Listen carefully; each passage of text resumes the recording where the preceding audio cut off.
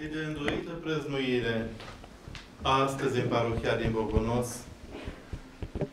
Pe de o parte, parohia cinstindu-și Sfinții Ocrotitori, Sfinții Împărați Constantin și Elena, Sfinți care sunt prăznuiți în Biserica Ortodoxă de pretutindeni în această zi, Sfinți care rămân în conștiința Bisericii cu oameni aleși de Dumnezeu, pentru a purta mărturia lor până în zilele noastre.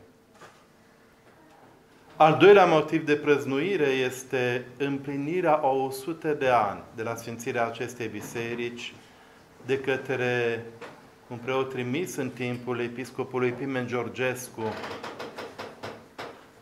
împlinind astfel o nevoie mai veche a locuitorilor acestui locaș, acestor locuri. Pentru că ținutul Bogonosului este menționat în istorie încă din secolul XVII. În 1696, un Hrisov vorbește despre ursul bogonos, domnitor, uh, boier, dregător în, acest, în aceste locuri, de unde și toponimul și numele acestei comune. Mult timp comuna a fost asimilată cu Lescaniu, numindu-se și Lescanii vechi, urmând ca în timp să-și uh, mărească și importanța, dar mai ales numărul celor care își găseau aici loc de alinare și loc de trăire a credinței. Între 1918 și 1924, la inițiativa ministrului Basarabiei de atunci Ioan Inculeț, în timpul preotului Sava Popovici, s-a construit această biserică, în mare parte așa cum este și astăzi, și s-a sfințit, cum spuneam acum, 100 de ani în timpul episcopului Pimen Georgescu. A fost un gând al uh, ministrului Ioan Inculeț ca și prin aceasta să-și arate recunoștința pentru înfăptuirea unirii, pentru lucrarea pe care Dumnezeu a vădit-o în poporul român și au stat alături oameni de suflet. La numai 20 de ani avea să fie război în 1944. Mulți dintre locuitori au fost nevoiți să părăsească comuna, biserica în cea mai mare parte s-a degradat, urmând ca la revenirea din Bejanie să o reconstruiască și din 2005 au început restaurările acestei biserici fiind așa cum o vedem în zilele noastre. Părintele Vasile Costan, un slujitor vrednic, cel care lucrează și la noi, la Centrul Eparchial al Mitropoliei Moldovei și Bucovinei, vă pune la inimă cuvântul lui Dumnezeu și mulțumirea pe care trebuie să o avem pentru această moștenire. Pentru că în biserică stând, ne întâlnim și sunt de dator să-i pomenim cu recunoștință pe toți cei ce au trudit la construcția ei și au înfrumusețat-o spre slava lui Dumnezeu. De aceea, vedem că se pierd în istorie clădiri importante, clădiri frumoase, dar rămân până în zilele noastre biserici, chiar în timpul domnitorului Ștefan cel Mare și chiar mai vechi, pomenindu-se până în zilele noastre titorii. Pentru că a face voia lui Dumnezeu pe pământ pe de o parte, nu e lucru greu pentru că Domnul însuși ajută și ne însuflețește pe oameni și ne dă bucurie și ne dă putere. Pe de altă parte, a face voia lui Dumnezeu înseamnă și a cunoaște multe potrivnicii și împotriviri. Monahul Nicolae Steinhardt, monah la noi în România, la Mănăstirea Rohia, evreu de origine, un mare trăitor, un mare creștin, un om cu o inimă adâncă spunea că Dumnezeu ne iartă multe de lăsări, multe neputințe, multe păcate, dar dracul nu ne iartă nicio faptă bună. Iată că a te porni spre lucrarea lui Dumnezeu înseamnă a te aștepta la împotriviri. De aceea și Sfântul Apostol Pavel spune că orice, oricine vrea să trăiască cucernic în Hristos va fi prigonit, va cunoaște această împotrivire.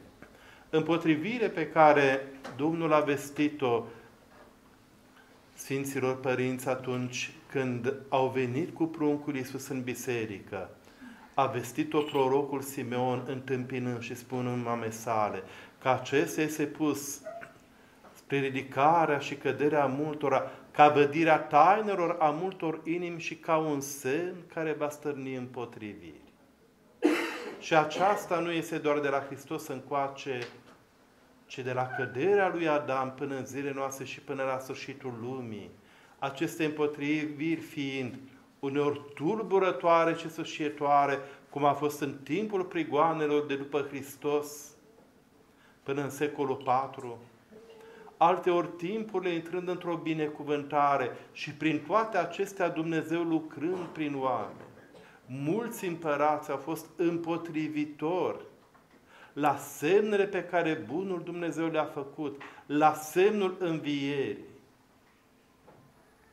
Iată că a lucrat Dumnezeu prin Sfântul Împărat Constantin, care văzând semnul crucii a știut să pună la inima lui acest semn și să înțeleagă că Dumnezeu lucrează în istorie, nu zrobind pe om cu evidență, ci punând semne și mărturii vrednice de crezare.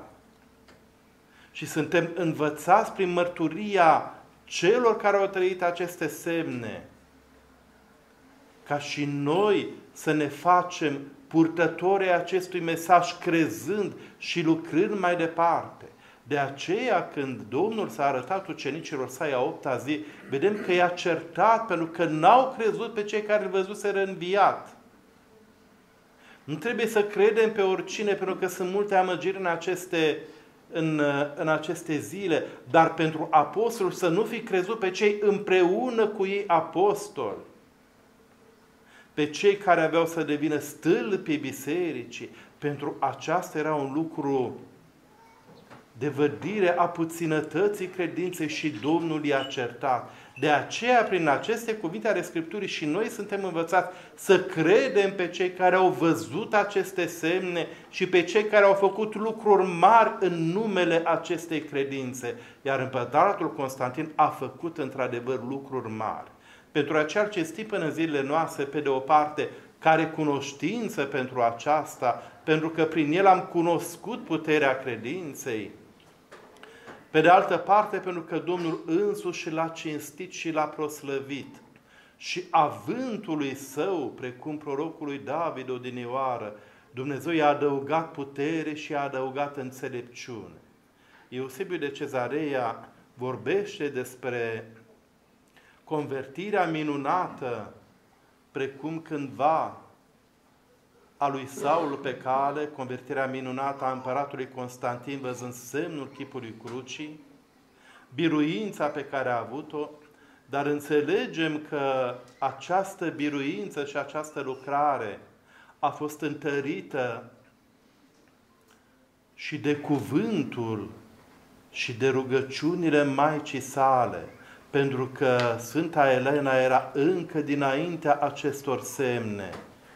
Om al credinței, om al rugăciunii, care negreșit când adâncul inimii ei se ruga ca și fiul său, împăratul Constantin, să cunoască puterea și minunea credinței. Lucru care întâmplându-se, vedem că a schimbat lumea. Și lumea se împarte și în istorie și nici păgânii nu pot tăgăduia aceasta între anii de până la Hristos și anii de după Hristos. Domnul împarte nu numai istoria și timpul în două, ci împarte și oamenii în două, sau mai bine zis, oamenii se împart. După cum aleg să lucreze adevărul statornic, aleg să lucreze cererea lui Dumnezeu, sau rămân indiferenți și nelucrători, sau mai rău se împotrivesc acestor semne. Cu cât mai mare este influența unui om într-o comunitate, cu atât mai mare este impactul acestei lucrări. De aceea și împotrivirea este mai mare pentru cel care are o asemenea putere de influență. Împăratul Constantin, deși a cunoscut aceste semne, deși a dat nenumărate privilegii bisericii și el însuși a condus lucrările sinodului întâi de la Nicea din 325, s-a, s-a botezat abia pe patul de moarte, abia în, în apropierea morții. Intrând ca împărat în 306, în 313 a dat edictul de eliberare, de slobozire a creștinilor de sub prigonirea în care fusese neîncetați hărțuiți, urmând ca apoi să aducă alinare acestora prin privilegii și prin cistirea zilei de duminică, ce a făcut cu putință ca creștinismul să fie nu doar ales de mulți, ci și înțeles de mulți, trăit de mulți care s-au și sfințit trăindu-l. Dar pentru că împăratul însuși, chiar în timpul vieții, era înconjurat de păgâni și a trăit cu siguranță această taină a credinței în inima lui cu însuflețire. Dar botezul l-a primit târziu, cu înțelepciune pentru a nu radicaliza pe cei care încă îi stăteau împotrivă. Vedem pe Domnul Hristos în clipele dureroase ale trădării, dus la, ce, la Ponțiu Pilat. Îl întreabă Ponțiu Pilat și Domnul nimic nu-i grăiește. Cu mine nu vorbești tu, îl întreabă Ponțiu Pilat. Nu știi că putere am să te răstignesc și putere am să te slobozesc? Și un cuvânt paradoxal pe care Domnul îi dă. N-ai avea nicio putere dacă nu ți-ar fi dat ție de sus. În orice slujire suntem, este o îngăduință sau o binecuvântare primită de la Dumnezeu. Iar această putere nu ne este dată pentru a zdrobi pe celălalt pentru a-l domina pentru ce, pe celălalt, pentru a-l pismui și a sta împotrivă. Această putere ne este dată pentru a-i fi alături și a-l crește, pentru a aduce lumină și îmbărbătare și bunăvoință către cei din jur. Nici lui Pilat nu îi se dăduse această putere spre pierzare. Îi se dăduse să folosească bine ca mărturie a adevărului. A fost alegerea lui de a o folosi prost el care toată puterea credea că și-a dovedit-o doar prin compromis omenesc. Ce este adevărul? întreabă Pilat. Toate valorile și le călcase în picioare. Ce putere mai poate da pe anumite cuvinte? Iată că și acolo era o îngăduință a lui Dumnezeu și o putere care ar fi putut să-l transforme dacă ar fi lucrat-o bine. Împăratul Constantin a ales să ducă această mărturie, să folosească bine această putere. S-a transformat el însuși devenind sfânt. Noi, cinstindu-l în biserică, luăm aminte la ceea ce Dumnezeu a lucrat, faptul că el a devenit sfânt prin credința sa dusă până la capăt și plină de roade. Tot astfel din pilda, din modelul împăratului Constantin avem de învățat.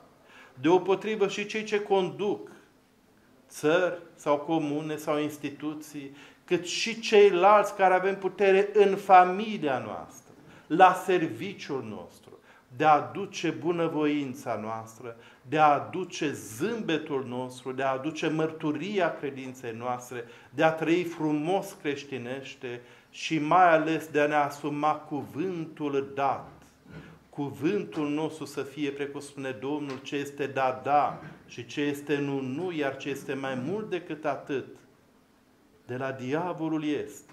Să fim oameni a adevărului și a iubirii. Și atunci vom împlini și noi porunca Domnului și vom cunoaște și noi fericirea pe care a cunoscut-o împăratul Constantin și împărăteasa Elena. Care este această fericire? Cea pe care a descoperit-o Domnul în popor. Fericiți sunt toți cei ce ascultă cuvântul lui Dumnezeu și îl păzesc pe el. Așa să ne ajute Dumnezeu.